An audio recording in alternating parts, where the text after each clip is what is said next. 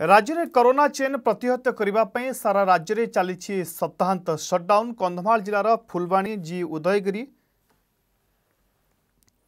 ଓ ବାଲିଗୁଡ଼ା ସହରରେ ମଧ୍ୟ ପ୍ରଶାସନ ପକ୍ଷରୁ ଜାରି ରହିଛି ତତ୍ପରତା ମାସ୍କ ଓ ସାମାଜିକ ଦୂରତାକୁ କଡ଼ାକଡ଼ି କରିବା ସହ ଅମାନ୍ୟଙ୍କ ବିରୁଦ୍ଧରେ ନିଆଯାଉଛି କାର୍ଯ୍ୟାନୁଷ୍ଠାନ ଅନ୍ୟପଟେ କନ୍ଧମାଳ ଅଞ୍ଚଳବାସୀ ସରକାରଙ୍କ ନିର୍ଦ୍ଦେଶକୁ ମାନିବା ସହ ସ୍ଥାନୀୟ ପ୍ରଶାସନକୁ ସଂକ୍ରମଣ ରୋକିବାରେ ସହଯୋଗ କରୁଛନ୍ତି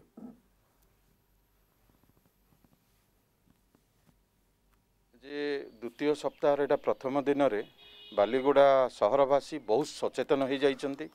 ଆପଣ ଦେଖୁଥିବେ ପୁରା ସମସ୍ତେ ସଜାଗ ହୋଇ ଯେମିତି କରୋନାକୁ ଆମେ ଆମ ସହିତ ହାତ ମିଳିଲା ଭଳିଆ ସହରବାସୀ କରିଥିବାରୁ ମୁଁ ଆଜି ଖୁସି ବ୍ୟକ୍ତ କରୁଛି।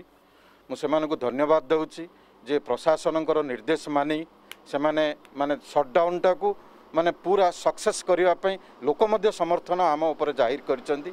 ତେଣୁ ମୁଁ ଆଶା କରୁଛି ଯେ କରୋନା ଯେଉଁ ପ୍ରକାର ଲହର ବେଶୀ ସଂକ୍ରମିତ ବଢ଼ୁଛି ବାଲିଗୁଡ଼ାରେ ତାହାର ପ୍ରତିହତ କରିବା ପାଇଁ ପ୍ରଶାସନ ଆଉ ସହରବାସୀଙ୍କ ସମର୍ଥନରେ ଆମେ ନିଶ୍ଚୟ ସକ୍ସେସ୍ ହେବ ବୋଲି ମୋର ଆଶା।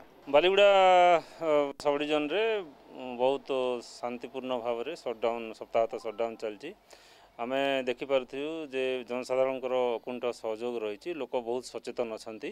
ଗତଥର କରୋନାର ମାନେ କରୋନାର ଯେଉଁ ବିଭୀଷିକା ଥିଲା ତାକୁ ଆଖି ଆଗରେ ରଖି ପ୍ରଶାସନ ତରଫରୁ ପୋଲିସ ତରଫରୁ କଡ଼ାକଡ଼ି ହିସାବରେ ପାଳନ କରାଯାଉଛି ଏବଂ ବାଲିଗୁଡ଼ା ସହରବାସୀ ଏବଂ ବାଲିଗୁଡ଼ା ଉପଖଣ୍ଡବାସୀ ବହୁତ ସଚେତନ ଅଛନ୍ତି। ଆପଣ ଦେଖିପାରୁଥିବେ ରାସ୍ତାଘାଟ ସୁନସାନ ଅଛି।